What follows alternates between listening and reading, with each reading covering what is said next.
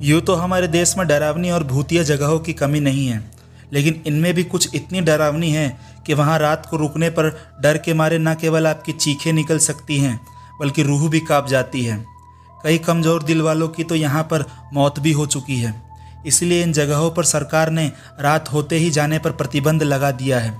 आज इस वीडियो में हम बात करेंगे भारत की ऐसी ही कुछ जगहों के बारे में, जिसकी जानकारी होना आपके लिए ज़रूरी है।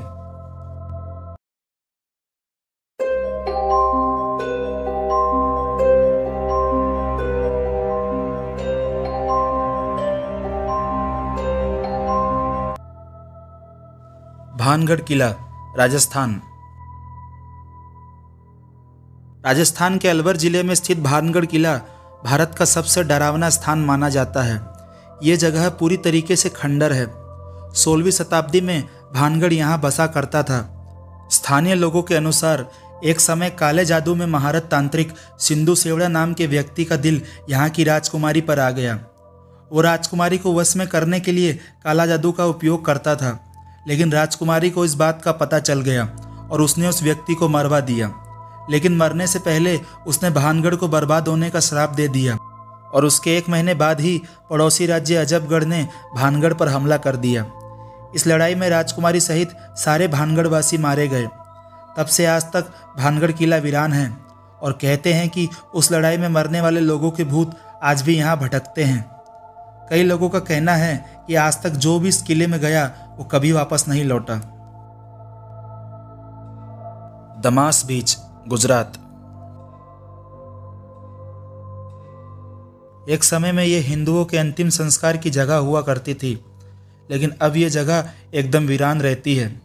कहा जाता है कि यहाँ आत्माओं का वास है। इसी डर के चलते लोग यहाँ शाम होने के बाद नहीं आते। स्थानीय लोग तो अकेले इस बीच पर दोपहर में भी जाने से डरते हैं। लोगों का कहना है कि शाम को अंधेरा होने के बाद यहाँ चीखने चिल्लाने की आवाज़ आने लगती है। चीख पुकार की आवाज़ काफ़ी दूर से सुनी जा सकती है। कई सैलानी जो रात में यहाँ घूमने के लिए निकले, रहस्यमय तरीके से गायब हो चुके हैं।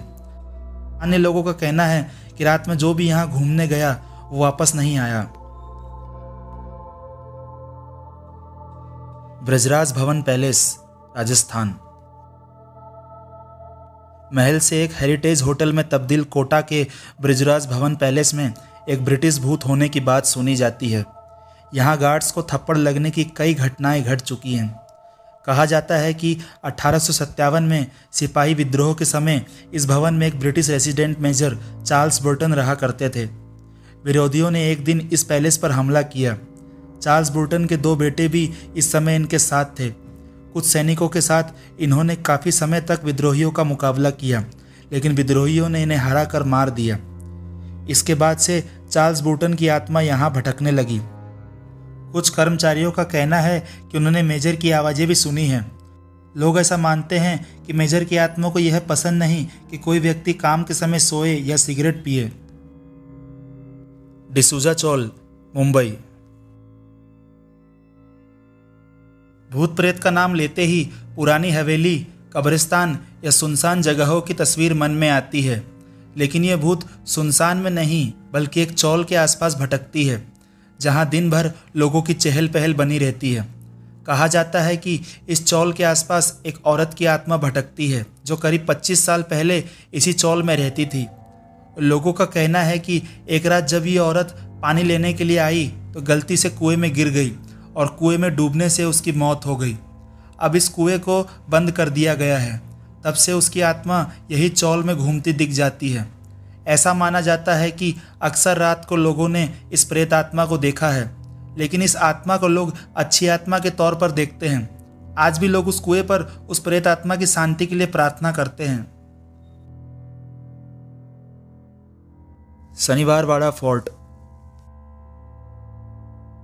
शनिवारवाड़ा फोर्ट का निर्माण मराठा साम्राज्य को बुलंदियों पर ले जाने वाले बाजीराव पेशवा ने करवाया था।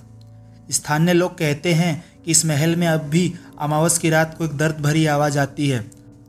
यह आवाज़ उस व्यक्ति की है जिसकी हत्या इस महल में की गई थी।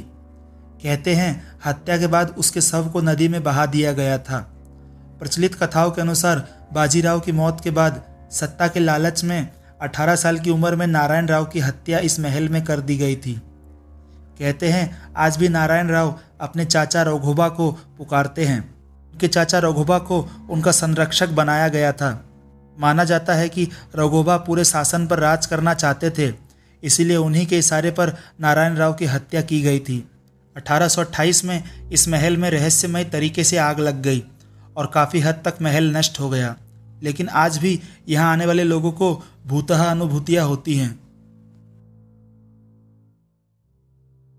तो दोस्तों, ये थी कुछ ऐसी जगहें जहाँ आज भी भूतिया घटनाएँ महसूस की जाती हैं।